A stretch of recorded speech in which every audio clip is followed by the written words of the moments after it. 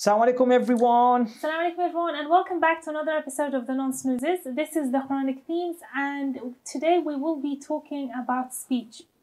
So this time we are going to try something new and this is putting Javad on the spot. Mhm. We'll give him 14 verses, one minute per verse, so we will have 14 minutes overall to explain the verses. Perfect. I'm ready for the challenge. You know what? Let's go watch the opening, come back, and we'll have the challenge.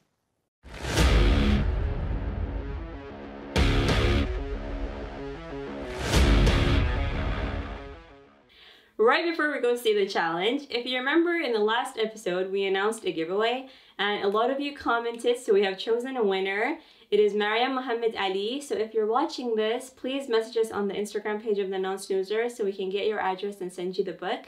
This episode, the topic is speech, as you know, and we have chosen a book called The Element of Eloquence. It is written by Mark Forsyth. It's a hilarious book, fun to read and very informative, and it gives you techniques on how to improve the quality of your speech and writing. And in order to interest you to read this book, I'm going to read a passage. Shakespeare was not a genius. He was without the distant shadow of a doubt the most wonderful writer who ever breathed, but not a genius. No angels handed him his lines, no fairies proofread for him. Instead, he learned techniques, he learned tricks, and he learned them well. I hope you enjoy reading it. Challenge time! 14 verses, 14 minutes, Javad versus time.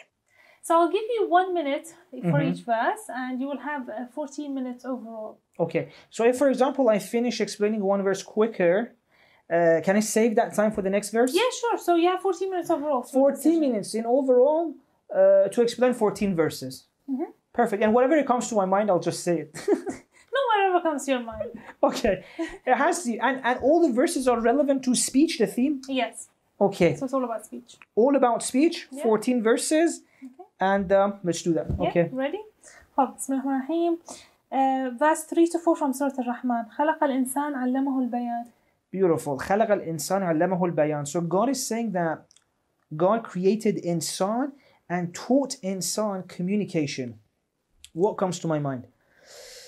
okay, what comes to mind is that perhaps, according to this verse, the most fundamental quality uh, of a human being is the ability to communicate. You know, God wanted to mention one thing.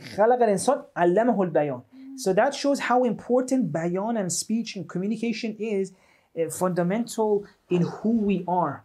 You know, what makes us different, for example, to animals, to um, to robots, machines, is the ability and the quality of our communication. Okay, I should stop. That's Let's go to the next verse. Verse 18 from Surah قاف. ما يلفظ من قول إلا لديه رقيب عتيد. Okay, so you will not say any word unless there's an observer.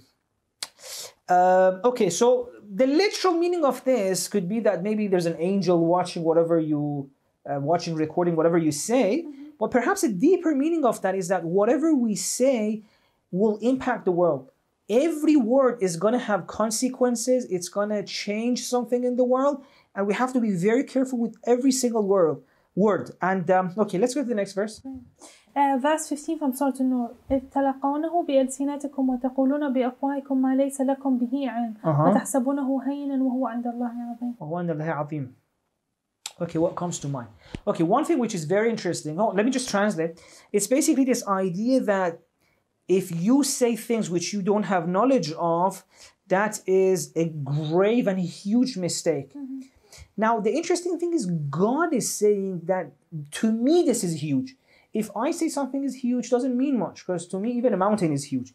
But to God, the creator of the universe, He says this is huge.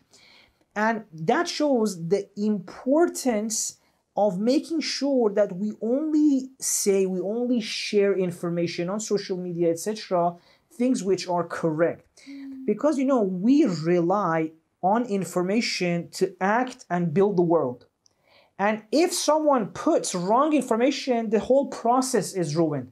And I should go to the next verse because I want my time. Ver- Verse 36 from Surah إسراء ولا تقف ما ليس لك به علم إن السمع والبصر والفؤاد كل أولئك كان عنه مسؤولا Okay, so the idea is very similar. Again, it says don't say things which you don't have knowledge of.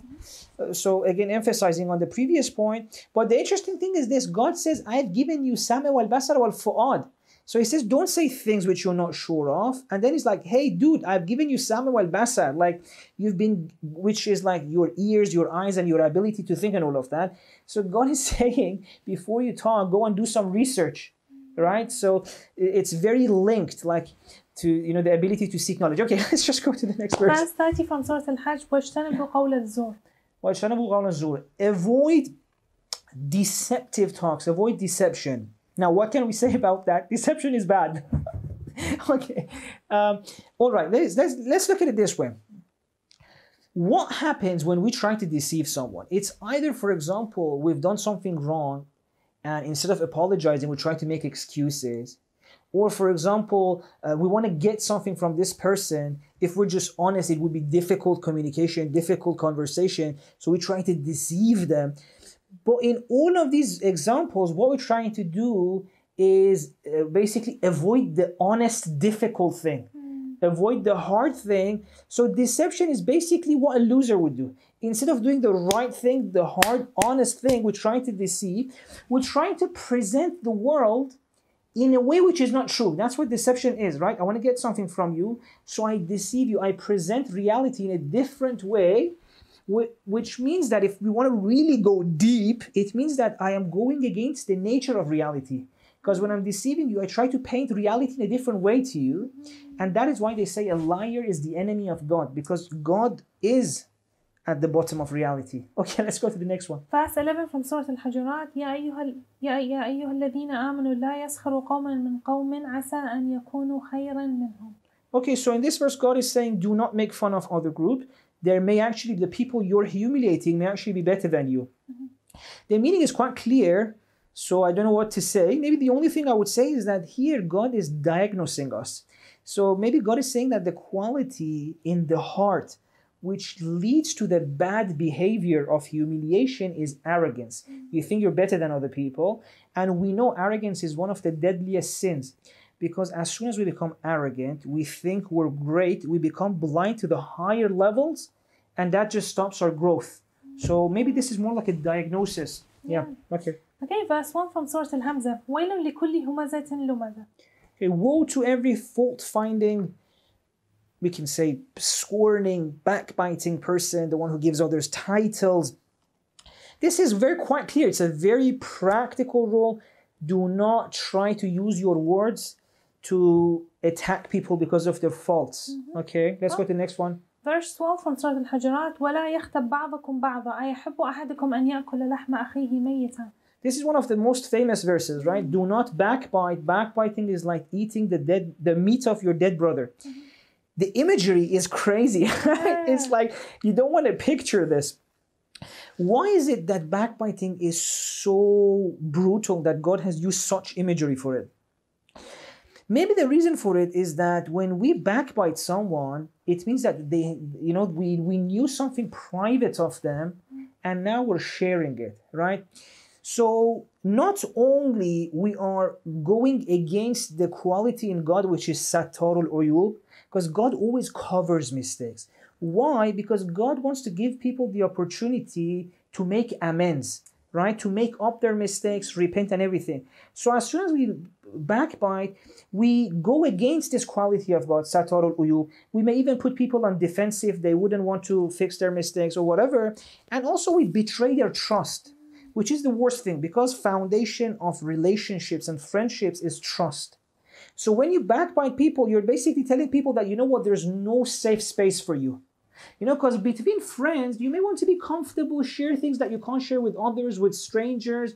At least here with my friends i want to be honest. But what backbiting does is that it re- destroys this trust. So you never feel safe. Okay let's go to the next verse Verse 54 from Surah Al-An'am وإذا جاءك الذين يؤمنون بآياتنا فقل سلام عليكم So when believers come to you, say salamun alaikum and um, peace be upon you. This is the verse perhaps which has started this habit among Muslims to greet each other with salam, peace be upon you. Well, obviously that's beautiful. You start your communication by saying peace be upon you, and it's not just that I'm going to say peace be upon you, salam alaikum, and that's it. No, it means that throughout my speech, throughout my communication, I have to make sure my words don't harm you right? So when I say salamun alaikum, I am giving you the assurance that you would be safe from me, but it's also a reminder for myself. Make sure this I, I keep this promise. That's not an easy promise. Right? Because we're promising this, and if then we go and harm others through our words, not only we've harmed them, but also we've broken a promise. So that's two own goals. Okay, let's go to the next verse. Verse 32 from سورة النحل الذين تتوفاهم الملائكة طيبين يقولون سلام عليكم Oh, beautiful. So if you live like that, if you live in a way that people are immune from h- your harms, then once you die, the angels will say Salamun alaikum. You try to make sure people are safe from you. Now you are safe. Salamun alaikum. In heaven, the angels will tell to that person. Okay, let's move to the next verse. Which Verse- verse is this like in terms of number? So that was the 10th one, now it's 11. Oh my god, we've got four more. Come on, come on, let's do it. Surah 11, sorry, verse 63 from Surah Al-Furqan وَإِذَا خَاطَبَهُمُ الْجَاهِلُونَ قَالُوا سَلَامًا And when the jahil, the ignorant, is talking to you, say salamun alaikum. It doesn't mean that say salamun, uh, qalu salama. It, it doesn't mean literally say salam. It just means that when you're dealing with someone who's ignorant, who doesn't have knowledge, don't look down on them, right? Treat someone who doesn't have knowledge with compassion, mm-hmm. right? Although I have to say that jahil doesn't just mean the one who doesn't have knowledge or ignorant. Jahil could also mean someone who has knowledge but cannot act according it. Right? So someone who wants to get rid of something but he can't, failing, is failing. So it's basically saying towards someone, be nice because if you're not nice, what's going to happen? You're just going to push them away. So they're not going to come towards you to learn from you, perhaps. So always have an attitude of compassion towards someone who doesn't have knowledge or someone who's failing. And the interesting thing is that that person who's failing could be ourselves. If, for example, I'm trying to get rid of a habit, but I keep failing, I should tell myself salama because I'm that jahil, right? So don't blame yourself. Don't go too hard on yourself if you're failing in an area. Be nice And then that would give you the energy to fix yourself. And let's go. Let's move on to the next verse. Verse 86 from Surah النساء وإذا حييتم بتحية فحيوا بأحسن منها أو ردوها So this verse is saying if you're greeted, greet nicer or at least the same way. And uh, this doesn't mean that, for example, just if someone says salam, you say salamun alaikum. No, it means that make it nicer. You can smile. And also, it's not limited to greeting. The foundation is this if someone shows you love and niceness, you show them love and niceness as well, at least the same amount. It would be even better to show more. Next verse, please. From verse 83 from Surah Al-Baqarah وقولوا للناس حسنا وَقُولُوا لِلنَّاسِ حُسْنًا. Actually, I was reading tafsir of uh, Al-Mizan about this, you know, uh, some time ago. Allama says that it says قُولُوا لِلنَّاسِ for humanity, for mankind, nas, people, Muslim, non-Muslim, I don't know, Shia, non-Shia, whatever they are, قُولُوا لِلنَّاسِ حُسْنًا. Speak to people beautifully, no matter who they are. Every single human person, you have to speak to them nicely. That's beautiful. Okay, next verse, come on. Verse 53 from Surah الإسراء وقو- وقل لعبادي يقولوا التي هي أحسن إن الشيطان ينزع بينهم إن الشيطان كان للإنسان عدوا مبينا So beautiful. In the previous verse, God says, speak husna. So speak beautifully. Here it says that, you know what? Not only speak beautifully, but speak ahsan. S- Try to even make it more beautiful. Why? Because that would remove the room for shaitan to create problems. How so? Let's say I'm talking to a friend and I can express myself two ways. Either, for example, I can say it normally, or I, and then that, you know, at the end of it, the person would, masalan, maybe have some questions. Okay, did he mean this? Is he upset with me? Is, for example, he trying to offend me? Is he happy? You know, there would be room for some misunderstanding or confusion or someone to get upset. So God is saying, add things to your sentence, add beauty, add adjectives, add whatever you can to your sentence to make sure once it's out there, there is no room for misunderstanding. Right? So make your speech watertight. And the next verse. Beautiful. That's your That's it. That was it. Yes, you Okay. Oh my god. Oh my god. that was a challenge. Yeah. That was okay. Now that I'm out of time, can I just explain this last one a little bit more? Uh, maybe I'm joking. okay. Go for it. so you know, this is very interesting. You know, it's so God had said. By the way, I, the challenge is over. I get to talk. You get to talk. so God says, "Speak to everyone husna, husna. Speak to everyone beautifully." So you never have the permission to speak um, ugly. Mm to speak rudely, disrespectfully. But then, even when you want to speak nicely, God says there are levels, and then try to go higher, right? So, for example, I can never tell you something rude, or I can never talk to you in a disrespectful manner. I have to speak to you respectfully. But even in speaking respectfully, God says try to make it more respectful, make it nicer, make it nicer. Ahsan. And it's beautiful. The idea here is amazing. And he says, if you do this, then you don't give shaitan any room to create any what?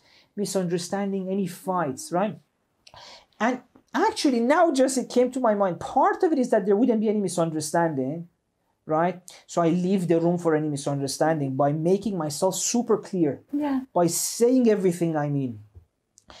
And also, when I try to speak that nicely to anyone, naturally there would be less conflict between us, Wow, right? Because you feel so respected, Yeah. you feel so honored that naturally, even if later on a conflict happens, you know your place in my eyes, how respected you are, right? So it, it's beautiful. I love that. And it's and I love this idea that God says try and keep making your speech more beautiful. Wow. How how did you find this challenge? It was fascinating. I I um I just hope that I managed to do justice to the verses. I try to say things which I think would take our understanding of the verses a little bit deeper. Okay, so so inshallah, this was um, some of the verses in the Quran Yeah. about speech. So inshallah, next week we're going to move on to another theme, or what are we going to do? So next week we're gonna give you 14 more verses. we go through the same challenge again, and um, yeah, let's hope we finish it. on So time. what are we going to do next week? Another 14 verses 14 verses about speech, and then we've covered all the verses. about speech. Mm-hmm. Can we have the same one again? No, not the same one, unfortunately. okay, so inshallah, next week we're going to do another 14 verses, but about the same topic, yeah? Yes. About the same topic with the same rule. Yeah. Okay, so inshallah, let's see how that one goes. Um, thank you so much. Would you like Thank to say anything? you. Thank you so much. And um, yeah, Thank you so much for watching. Make sure you join us next week. Make sure also you watch the other episodes and can't wait to see you in the next episode. Take care.